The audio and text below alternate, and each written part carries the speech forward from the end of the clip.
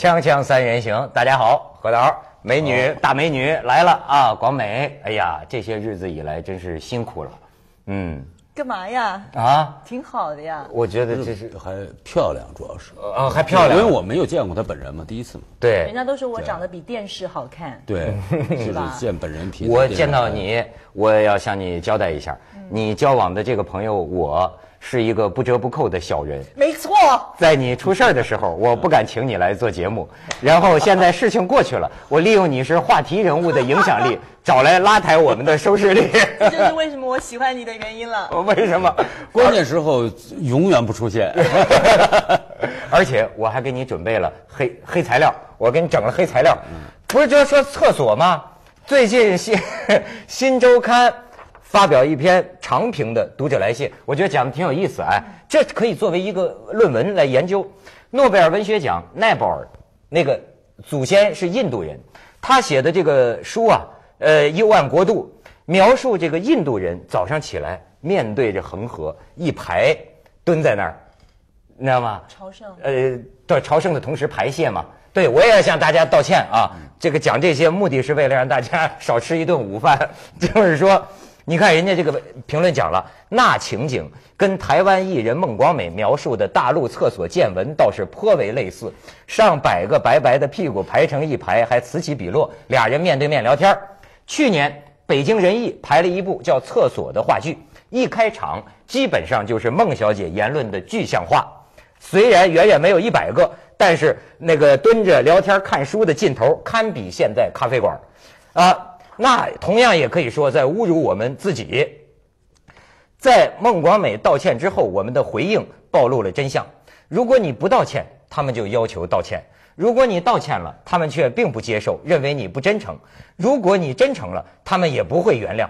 所以，他们并不真正关心内地厕所臭还是不臭，也并不关心谁的描述是不是真的准确。这个一位长评的，他也是讲很多说我们那儿厕所还有问题。其实我觉得，因为我跑中国几乎我都跑遍了，我觉得厕所这个文化。怎么就不不可以说呢？就屁股多排成排，这平常这经常见到，这很正常的事情。何老师我当心不是真的真的真的。你比如说，你到现在，我那个时候我记得我在上海里弄里找厕所，找着厕所了，连围墙都没有。你在那儿呃小便，嗯呃旁边的那个就走走来走去，街上的人就走来走去，嗯那也是国际大都市的现象啊，对吧？嗯，国美所以？我觉得国美还准备分享点什么吗不予置评，没上过厕所。一直憋着来着。？No comment。No no comment。No comment。我跟你说，你提起的这个话题特别有意思，让我真是浮想联翩。最近有一本书叫《疯狂的眼球》，达利的自传，艺术家达利。达利呢，他描述他的家乡，那你看很有意思。在这个说，呃，在是呃这个他的村里，家乡村里，傍晚吃完饭排粪是村儿里最重要的大事儿了。这是论坛时间，这村儿里讨论问题的时间。关系好的家庭或者兴趣相同的人，会一边脱裤子一边讨论他们的想法。我达利的这个家乡，你看你这发现了一个什么问题呢？所有这些人的问问题就是说，我能说，你不能说，是不是？我就不说了。啊，对对对对对对对对对对对对，咱改改话题，要不广美就没没话说。广美最近真是啊，风头很劲啊，开心了。李莫愁，而且真的是武林高手。看了吗？何导，全场总分第一名啊！啊，广美，人人人，我跟您说了，这我我刚录的这集人还没播，你你你的节目播出的时候，人家还没播出，不能讲啊。哎呦，听说这个节目现在收视火的说接近春季中央台春节晚会，就明星。我我看了刚才广美给我看一段，那你看广美基本上是这个美人春睡嘛，这一开始一条大腿嘣家伙起来，然后就哦，人家那是有意境的，你别讲的这么粗俗。对你，哎，我觉得真是你那个总分应该给你打第一，你跟其他那些比呀、你又知道人当然，其他那些 也不错，也不错。哎，咱咱咱们分享一下，咱们看看这个光光美这照片啊，你瞧，这个不绝对是错误光美，我跟你说，我倒不是担心你，我担心这光头，你那么他怎么能甩得起来？你可这徐锦江他是那天的参赛者，然嗯后因为呢，我我一直有很痛苦的一件事情，就是你看他那表情，你看广美什么表情？像是像是要给要给打劫了似的。我觉得像上维亚了。哎，哎呀呀，这个是我的真正的舞伴。你看这个记者他往哪儿拍？做好打底工作了吗？广美，嗯，咱们再看，哎，某香港女明星啊，这知道是谁吗？说是什么阿萨，然后再看，啊嗯，好厉害这各成其这谢晓东，这咱何导都看过。再看下边的，嗯，这个画面，哎嗯，也是某女明星啊。还有吗？还有吗？我们观之不足，哎，没就剩咱们了哎，我还真看了两期。啊？是吗？对对对对啊，我是是真看两期，有意思吗？呃，我觉着哎，这还挺好看的，因为那个那些演员都特认真，因为我看他们那个排练啊、训练的，因为他那个节目前面有很多嘛介绍什么的，然后有些我还真吃惊，还真跳的不错。以前啊认识不知道能能跳舞，怎么三天就能学这么好？嗯嗯嗯嗯，广美跟我们讲讲那里边有什么好玩的事儿？其实只有一个苦字而已，真的就是一个苦字，没没有没有别的了。嗯嗯，那为什么能给你的外国来的教练裁判能给你打九点九分呢？嗯，我我觉得，哎，你又提这个事情，人家还没播出，没播呢，这个 OK 啊，是吗？我我好我们那先播嘛，占点便宜是点儿。这样子讲吧，因为那天那个那个老外评审，他是真的是就是听说是在国际间是最顶级的顶级的国际裁判，那他给了我将近满分，我觉得，嗯，你整体的演出让他觉得很感动，他并不是说哇你的舞技有多么高超你，知道我听他们跟我说，我没看着啊，说说那个评审毒舌评审说那个台湾的那个黄品源啊，说黄品源居然你知道当场跟他说什么？说你我怀疑你跳舞的时候是不是一个男人？当时说黄品源尴尬的那个脸呐、是，打翻了我我也。觉着那个那个评审有时候说话是非常直接的。你那个这么说，你比如说有万一有什么很多的粉丝，你这么说他肯定不行啊。而且啊，这个他却为什么收视好啊？他看点非常多。你看，就比如说有的女明星，这个呃内裤那不叫内裤，那叫舞裤是吧？但是跟内裤一样的舞裤是吧？因为他专选的，你知道吗？他不跳别的，他拉丁这种范儿的国标啊什么的，他他就是这样只就穿的就是那衣服。然后呢，说是某个女明星。就是讲人家讲说露底之类的事儿，那女明星说人家还特意穿上了安全裤，但是没想到现在这个安全裤啊一点都不安全也不安全。我那天觉得这话很经典，我抄在我本子上。可是做节目之前我一看，我发现我抄错了，这反映我的内心。我抄成什么呢？人家戴上了安全套，可是现在安全套不安全，安全套不安全坏。真的不安全。最近有个这个防艾滋的人就说呀，安全套也不安全。这不是很久以前就这么说了吗？王海、啊王亥还在我们节目里说了，说了很多次，说你戴两层也没用。也没用，那太恐怖了。对，那广美这方面有体会了啊。嗯，对。哎，你说这个武林的这些人啊，你说这些演员，他们为什么要参加？这个我是看第一次看的时候，我就在想这个事儿。他们是觉得是这个事情是一个很好玩的事儿，还是因为我我想不想不太清楚他们的这个目的，我我不晓得你们觉得这些人什么目的？就不知道嘛。我觉得他觉得好玩你。什么目的？我不晓得别人目的是什么，但是我的目的，我跟你讲，就是从他们邀请我正式发出的邀请函到我去参加，其实前后经历了两个月的时间。这两个月的时间我在干嘛呢？我每天都在挣扎，我挣扎来挣扎去，为了挣扎来上厕所的问题挣扎。哦，这么长时间以前两个月的时间。嗯为什么呢？因为我自己本身是一个手手脚协调性特别差的人，而且我身高一米七八，就是个儿高的人本来。本来就不是很适合跳舞，尤其是国标舞。虽然我们占了一定的优势，所谓的站出去就很好看，但你光个好看没有用，你好看你就你就做些可能模特儿的工作是好看，但是跳起舞来不一定会好看，所以我就一直挣扎，觉得说我该去吗？我该去吗？我该去吗？到最后自己是觉得有一点点被赶鸭子上架，但是心里还是觉得说，对孟广美，你应该要去做一些，你不能够柿子老挑软的吃。哎，这个容易做，上来跟窦文涛聊一聊天，又有车马费可以拿。对我来讲，如果不是透过他们，我想孟广美一辈子不会知道原来自己可以跳国标。那很多人就终于知道自己原来不能跳舞，比如说像我，我比你们出丑还早呢。凤凰选美的时候就让我跳，我跟你说，我这就体会到了。你说你不协调啊，我也发现我这个人没有节奏感，这个的遗传回去问问我爹妈我没有节奏感，跳舞啊最重要的你得能听上那个音乐的那个点儿啊。我发现这方面我是零，我是零，但是呢，怎么办呢？要跳就他们让我跳，那就跳呗，跳。然后我们的公司有一个跳过舞的，你知道我当时靠拿什么壮胆儿啊？我说喝酒，我说喝酒，反正我喝喝胆儿壮胆儿嘛。后来他他就给我说了句行话，他说呀，你呀、别喝，你你这个喝了酒啊，脚跟发虚，脚跟发软，这我有体会脚跟发软。你知道，有时候主持节目甚至还喝酒呢，说话确实就爱爱说嘛。嗯。然后呢，我终于临上台之前，我在后台吓得我哆嗦，因为他们你们跳的是什么拉丁王子啊，我跳的是一东南亚某国的一个小国王，但是给我找的衣服是北洋军阀的军军装，好。我这紧张，民族我就舞蹈啊啊！我说我不敢，我不敢上去，你知道吗？我在后台不敢上去。最后我就把从那个酒店房间偷的那个小小酒板，我拿了好几个，我咚我咚我咚我就喝了吧。上去，我就发现他们都说我在台阶上不是绊了一脚吗？滑步，滑步，我站滑步，滑步。我跟你说，不是踩空了，就真是脚喝了酒啊，脚跟发软，就咯噔一下发虚。跳的怎么样呢？啊。跳的怎么样呢？出丑啊！你知道这人呐、最尴尬的，所以我就说啊，你你以为出丑是为了让大家笑一下，但是你要知道，喜剧是最难的，不是说你出个丑人家就会笑的。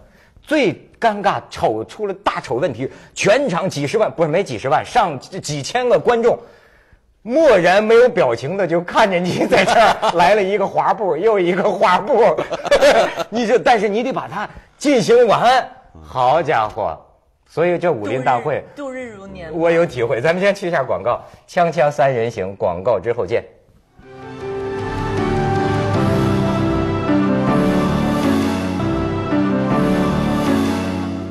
广美啊，你挣扎的时候，你不怕出丑吗？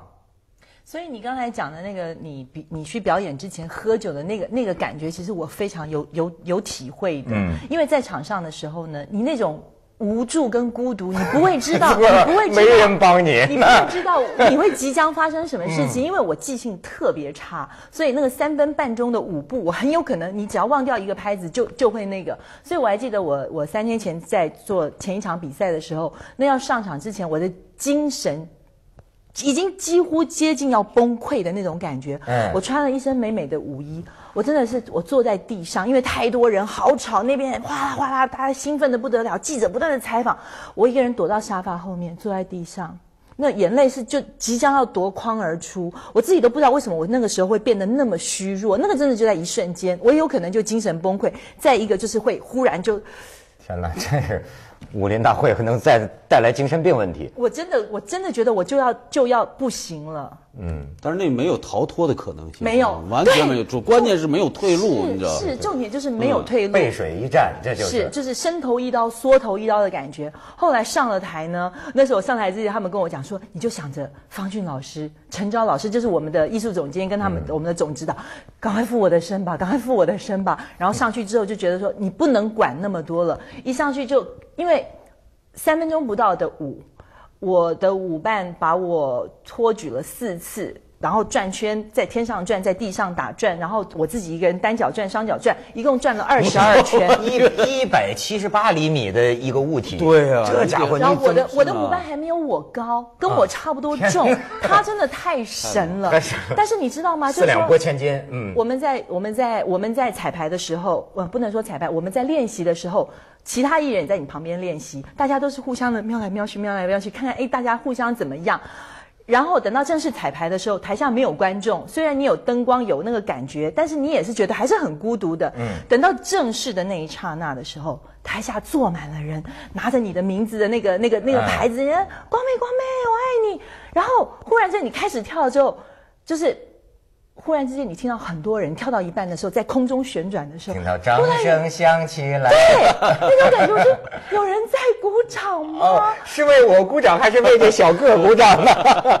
我跟你说，这个跳舞啊，我的体会一回，从此之后，我不崇拜这个用脑子的，我崇拜练身体的。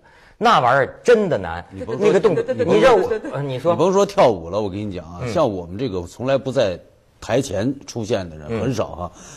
做导演的，我们走红地毯我都紧张，没错没错你知，道吧？我每次一般那个红地毯开走的时候，那个地方有红酒或者香槟，嗯我肯定是咣咣咣先得闷两杯酒，我才开始出去那呢。这是害羞，不是，而且要不然你觉得你不会笑都。而且你一跳你就知道，你比如说跳舞，我为什么说你不错呀？范儿不错，人家跳舞都跟我讲了，咱过去不知道，你比如你做个动作，欲左先右，你知道吗？欲上先下。你比如说我跳那个，人家就告诉我，你比如说你要做一个这个动作，你不能这么做。人家跳舞的这是，啪，你知道吗？起范儿，啪，对，得有范儿，哎这就欲左先右，先回去嘛，啪一下，你知道吗？先得起范儿。啊，不过啊，这个东西一般人讲说推己及人，我呀最喜欢推人及己。就是说我看见你们在那儿出丑，哎，不是出丑，广广广广美不错啊。我看他们在那儿露底啊，我就在想，就如果是我的话，我肯定不去。但是我又在想，我为什么不去？于是我得到了一个哲理，我就发现呢，马克思是要学的。我你知道马克思了哈？当然知道马克思是非常深刻的，经济基础决定了人的这个行为，生产力什么是决决决定生产关系？就是说，我为什么可以不去？为你比如说，对于对于艺人来说哈，他需要保持知名度啊，需要保持曝光度啊。你知道，你像香港那个呃，有的艺人，人家说嘛，几俩月你不上娱乐版，你你你谁找你演戏？但是我为什么可以不去？我告诉你，因为我是拿工资的，因为我这个饭碗，这个谋生方式啊，我我我我我这个背靠大树好乘凉，你知道吗？我是拿年薪的，所以我可以保持我的低调。所以你包括外边走什么学，我为什么能够我想去就去，我不想去就不去？这个我我觉着这得感谢凤凰啊你说这个有有点道理，因为我想，因为有很多明星他们的这个曝光率是被广告公司统计的是吗？啊，他们统计的，因为他有他的要要拍广告嘛，他有一个他的价位啊，是吧？他的这个的，所以你的曝媒体的曝光率都是有统计的。没错，你发现没有？一般电视台的，你会不管说中央台的、凤凰的，大部分的主持人，他一般呢，他可以比较低调，他在外边也不挑事儿，也也也不炒作，也他可以，因为啊，这个呃拿固定工资的人旱涝保收我没，有拿固定工资，我就出去挑事儿了，不是是吧？就是前一段时间挑那么大的事儿出来，这让我怎么说呢？就是个体户，你那么个体户，哎，我我还是说推人积极。我假我假想我自己啊，有一招，要是凤凰把我炒了，我跟你说，我对我的这个所谓人品人格现在发生怀疑，是个谋生方式的问题。你比如说，我一想，他把我炒了，我下个月就得找工作，谁找我呀？谁知道我呀？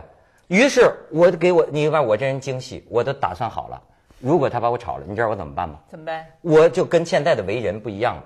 我首先在全国几大主要报纸上，我买半个版的广告，就公布我窦文涛现年四十岁，学历大学本科，离开了凤凰卫视，主持过十七年的节目，甭管好坏，反正你能说得上来的我都做过。现在诚聘工作饥寒交迫，是吧？又否则就会像洪峰一样沿街乞讨。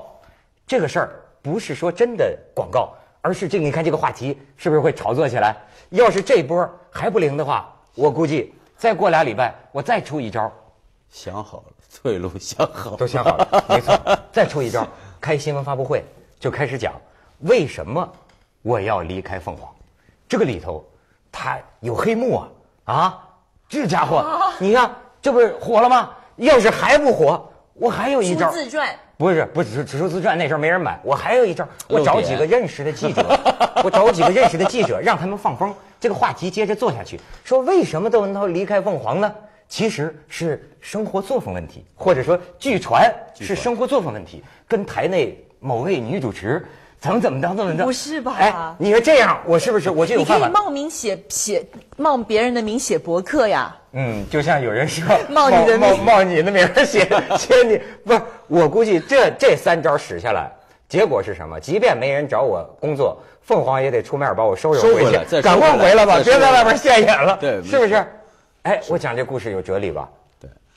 所以这个就是人呢，就是这就也就是什么你我觉得你现在已经基本上在发一封黑函给公司了。没错，我只你说是通过怀疑你是通过这个节目，最近是不是是有问题？通过这节目要告诉公司，啊，不要出现这种状况啊！时候说这事儿吧 不。是，我只是告诉说，人人都得想退路，退路 知道吗？锵锵三人行，广告之后见。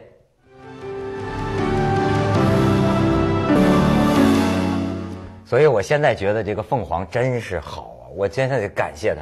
就是说背靠大树好乘凉，真的。而且我就觉得他给我的这个工资啊，特别的绝。你知道他绝到一个什么程度啊？就是他资本家能怎么控制你啊？我告诉你，不能让你挣钱太多了，太多了，你几年下来囤积下来，你就有了本儿可以离开他了，对吗？但是呢，老本可以去登报。没错，但是太少了呢，你也不满意嘛，就就走了。他给我这钱呢，刚刚好让我觉得日子小日子过得还行。可是呢，一一离了开，下顿就揭不开锅了。那这个下个月就断顿了这个线是多少？啊！啊 这学学这老板怎么落的老板，这个底线是多少？呃能够控制的这么好，这资本家反正听说好像给广美给的多，多比我比我多啊。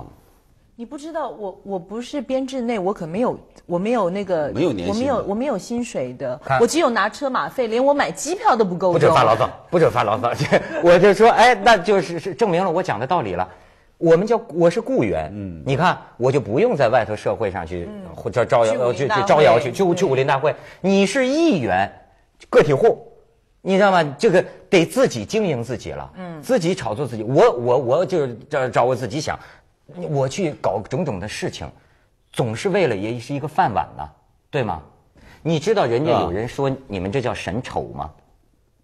就是为什么？当然你九点九分，但是很多人留给观众的感觉是说好像出丑了，或者怎么着了。我在现场看到大部分的画面，就是说，因为你已经投入那个意境，你看到是那个整体的感觉，灯光舞美啊，加上他表演啊，还有他的舞步什么东西。但是你要想到说，很多照片出来，像刚才你们截下来那有一些照片，都是那种呀歪嘴斜眼，要不就是露底裤的、露屁股的没。错所以我觉得这个是大家喜欢去报道的东西，他喜欢朝那个方向走。那一些美好的、美好的那种陶醉的画面，你又怎么不拍呢？而且呀，是当真呐，这个大家也不理解，就是哭啊！